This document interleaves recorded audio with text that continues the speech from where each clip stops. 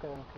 I lavori che si stanno facendo, questi della piattaforma logistica, dimostrano che nei momenti difficili, nei momenti di crisi bisogna investire sul futuro. La piattaforma logistica anche per le prospettive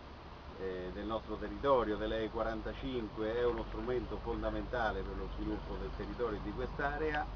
Questo pezzo della piattaforma logistica, diciamo, la realizzazione di questa rotatoria che oggi viene, che è frutto della collaborazione dell'impresa con la regione, con la provincia e con il comune di Narni è uno strumento importante perché si, si posiziona